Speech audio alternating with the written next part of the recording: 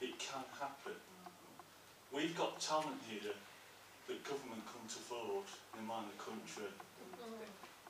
The And it will happen, it will happen. It will happen. It's going to be bloody hard. It's going to be painful. We're going to have emotions like I did.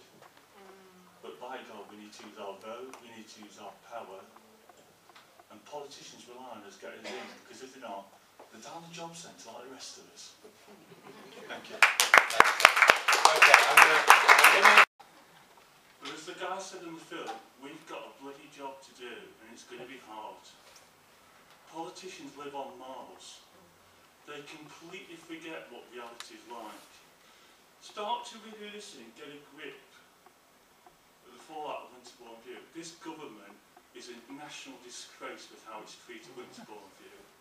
When it gets to the point that we have to write to the Prime Minister to say, look, come on, you made promises, stick to it. And then three years later, he's hardly done anything apart from people that have moved and then they've still got problems. He should be bloody ashamed of himself. They haven't got a clue. They don't know what real life is like. We've got to stop this mentality of saying that we're all scroungers. We're not. I didn't choose to be born with um, an oxygen sort of um, thing where basically about a minute of my life was solid oxygen and I've got hand-eye coordination. I didn't choose that. I've had to live with it for 43 years and I'll live for the rest of my life. Why should I be punished when your voices kick boot, boot to ours? And the other thing is on May the 7th, let's use our vote. We all have a vote.